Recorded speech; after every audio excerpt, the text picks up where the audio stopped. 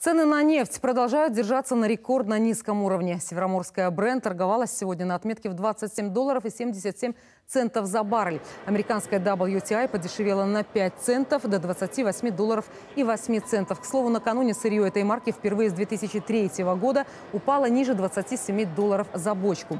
Почему цены на нефть падают и как долго продлится это затянувшееся пике? На эти вопросы мы попросили ответить аналитика русской службы «Голоса Америки» Михаила Гудкина. Сейчас он выходит с нами на связь из Нью-Йорка. Михаил, здравствуйте. Как мы знаем, цены на нефть продолжают ставить антирекорды. Еще в начале недели баррель бренд пробил отметку 28 долларов. Стоимость черного золота падает после новостей о снятии санкций с Ирана. Как вы думаете, стоит ли ожидать дальнейшего снижения и как скоро цены на нефть нащупают дно?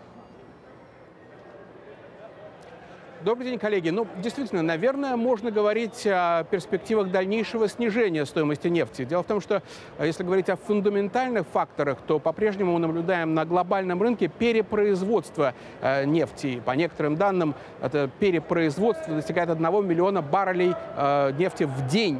И в то же время мы видим, что снижаются темпы роста спроса на нефть за счет замедления темпов роста китайской экономики и других факторов.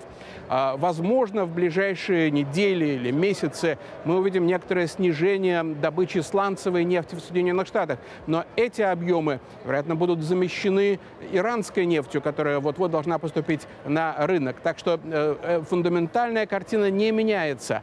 Э, можно говорить также и о том, что э, э зафиксировано рекордное количество коротких позиций на нефтяные фьючерсы, которые были открыты э, крупными хедж-фондами. Так что пока нет никаких никаких предпосылок для того, чтобы э, нефть э, начала расти в цене. А, ну, если говорить о цифрах, то тут называются самые разные цифры. Экстремальный прогноз от э, Chartered Bank составляет 10 долларов за баррель нефти. Но многие более взвешенные прогнозы говорят о том, что нефть может понизиться до 20 долларов за баррель. Когда она достигнет своего дна, на этот вопрос ответить крайне сложно. Многие эксперты говорят, что это должно произойти э, к середине текущего года.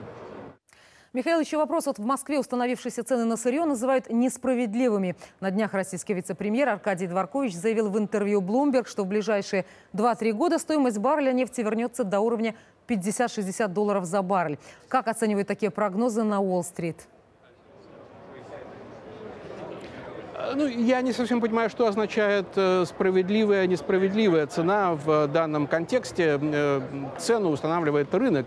И мы уже говорили о том, что э, может пройти какое-то время, прежде чем рынок найдет стабильное равновесие стоимости нефти. Что касается прогнозов господина Дворковича о том, что цены достигнут 50-60 долларов за баррель в течение следующих двух-трех лет, это вполне вполне реалистично. Э, агентство Moody предсказывает, что уже э, в этом году э, цены на нефть марки Brent составят от 43 до 53 долларов за баррель. Так что через 2-3 года, ну, тут опять-таки очень сложно предсказывать, особенно на такие длительные периоды времени, но в принципе этот прогноз звучит вполне реалистично.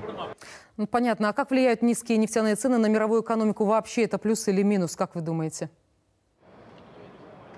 Ну, в принципе, если говорить чисто теоретически, то дешевые ресурсы, включая энергоносители, они, несомненно, должны э, идти на пользу э, развитию экономики, ее дальнейшему росту. Но э, в данном случае, когда э, мы видим, что добыча, э, переработка и продажа нефти так тесно завязаны на глобальные финансовые потоки, очень э, сложно э, дать однозначный ответ на этот, казалось бы, достаточно простой вопрос. А, э, такое резкое снижение стоимости нефти, которое мы наблюдаем э, сейчас, э, может привести к дефляционным рискам. Мы это уже видим. А, э, Международный валютный фонд э, и другие организации предсказывают э, замедление темпов роста э, глобальной экономики. Э, существует риск э, того, что вот это э, резкое снижение стоимости нефти может нарушить баланс финансовой архитектуры всего мира. И будем надеяться, что этого не произойдет. Но, тем не менее, эти риски существуют. Так что ответить на этот вопрос однозначно достаточно сложно, коллеги.